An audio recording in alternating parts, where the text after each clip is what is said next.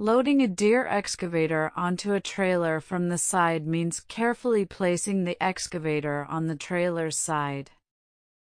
It's essential to align it properly and secure it before transport.